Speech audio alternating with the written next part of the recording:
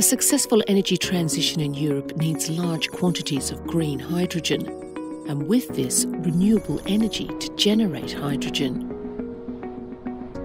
Hydrogen production in offshore wind farms can make an important contribution to this. This is where the hydrogen flagship project H2 Mare comes in. H2 Mare brings together 33 partners from industry and science to develop a new type of offshore wind turbine with an integrated electrolyser. Such a turbine promises huge cost advantages and efficiency gains by directly linking the electrolyser to the wind turbine and by doing without most of the usual power electronics and grid connection.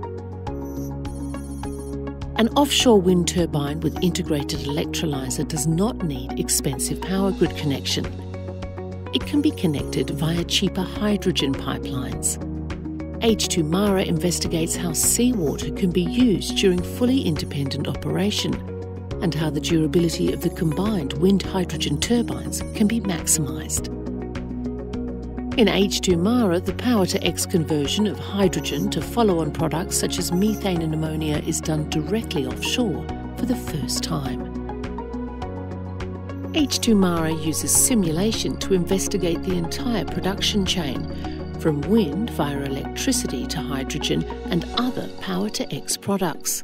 H2 Mare can therefore consider different operational scenarios, such as highly fluctuating wind speeds, and assess the economic viability of the whole system. H2 Mare also focuses on higher level issues such as certification, safety, and environmental protection.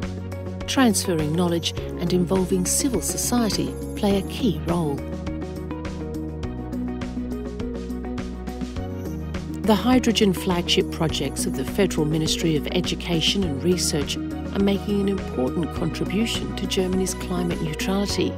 Through them, important technologies are being developed that act as entry points to a hydrogen economy.